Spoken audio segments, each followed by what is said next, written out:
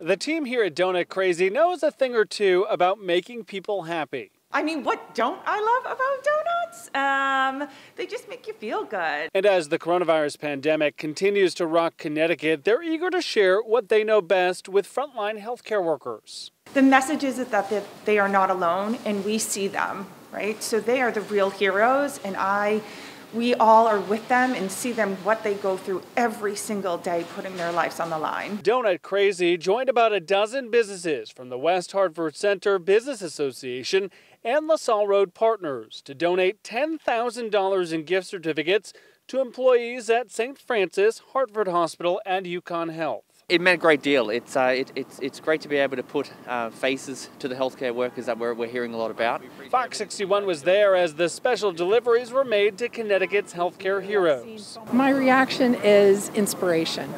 I really believe that each of us can help each other through this journey, and this is the most visible uh, example of that that I have today. And with a little donut crazy, it might just be the sweetest too.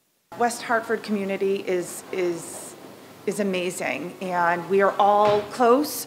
We all know each other, we all support each other, and we're stronger together. If you're a Connecticut business doing good or with a great story to tell, I want to hear about it. Send us an email, share61 at fox61.com. I'm Keith McGilvery in West Hartford, and I'll see you weekday mornings on the Fox 61 Morning News.